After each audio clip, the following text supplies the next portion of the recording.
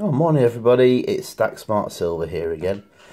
And um, yeah, we've got the bubble wrap today, so you know what that means. We're on a, an unboxing from Silver to Go. And um, yeah, I think I made some reasonable choices this month. I managed to get in before the spike. So these were bought at around 15-ish dollars. Um, so I didn't do too bad on these. I think it was like £100 delivered for the six coins. Um, so let's have a look what we got. So as those of you know, I have a real love uh, for the silver pandas. Um, so I picked up some extra 2016 coins. This one's got a little scratch on the capsule, which is a shame.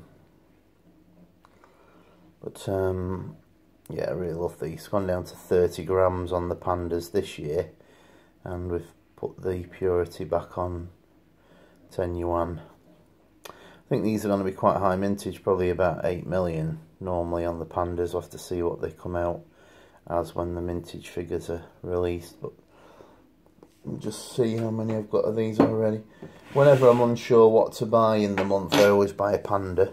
Um, I've got one, two, three. I've got four currently, so this is two more on the pandas, taking me to six for the 2016 model.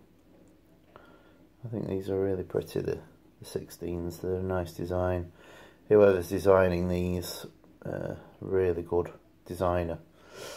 So that's the 2016 pandas I bought. Okay, so I thought I'd take the chance to pick up a 2015 Libertad. For those of you who've been watching the channel, I've been filling in the gaps on my Libertad collection. Um, I've currently got a couple of the duplicate Libertads on eBay, um, so I'll give you an update on those. When I sell them, I'm doing a little bit of market analysis and what have you, and checking out how much you can get them for shipped over from America, so I shall do a little video on that coming up 2015 Libertad. I've also ordered the 16 Libertad from Weight and Coin Wonders. I didn't have one of these um, turtles for for six what is this? So look yeah this is the 16 uh, turtle I like to keep the turtles up to date because they're quite a cute coin.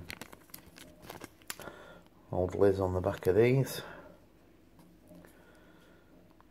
Quite a nice finish on these I think. And I collected the other sharks. Um, I think these are a limited mintage but I'm not sure of the quality on these sharks really. I think I've got a milk spot on one of my hammerheads I am collecting the shark series and because they're out half ounces they're a good filler.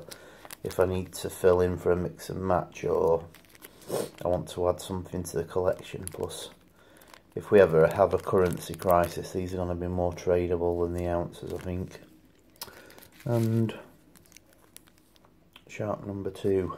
So I'll lay these out for you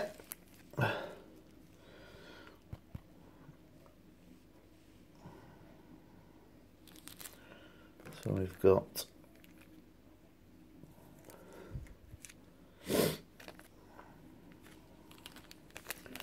So five ounces in total, two pandas, a turtle, two sharks and a libertad. Hope you enjoyed that. Please like, subscribe and comment and let's stack smart silver together. Okay, speak, speak next time. Bye.